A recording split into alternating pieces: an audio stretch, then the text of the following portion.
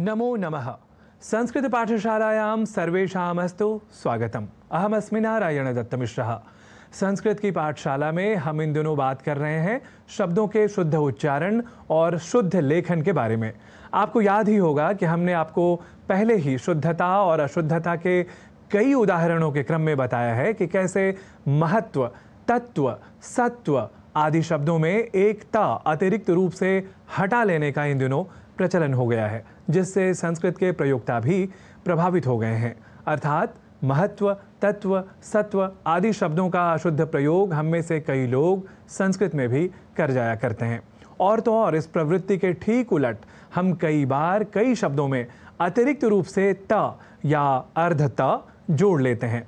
जैसे अस्तित्व को अस्तित्व, व्यक्तित्व को व्यक्तित्व, उत्तरदायित्व को उत्तरदायित्व इस रूप में लिखना और उच्चारण करना इसी त अक्षर को अतिरिक्त रूप से जोड़ देने की दुष्प्रवृत्ति के बारे में बताता है। और अब इसी अतिरिक्त रूप से त, इस अक्षर को जोड़ने की दुष्प्रवृत्ति को हम दंपति, इस शुद्ध और मानक शब्द के कुछ अशुद्ध प्रयोगों को देखकर समझ सकते हैं।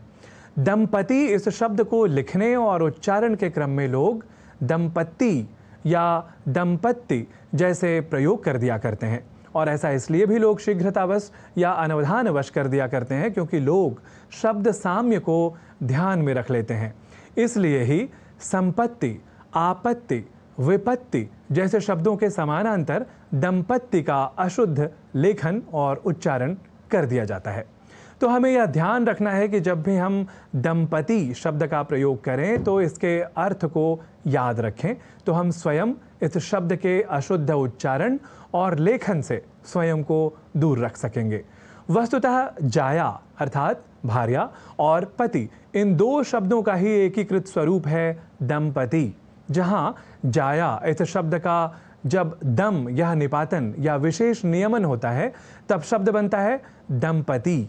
वैसे यहाँ यह भी जान लेना चाहिए कि जाया इस शब्द का एक और भी निपातन या विशेष नियमन होता है। वह है जम।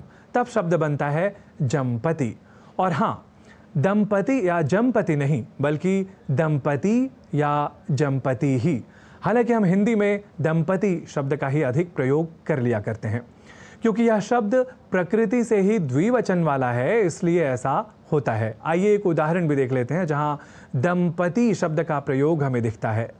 तो दंपति वशिष्ठस्य गुरोर जगमतुराश्रमम वैसे संपत्ति, आपत्ति, विपत्ति जैसे शब्दों के समानांतर एक और भी शब्द को रखा जाता है।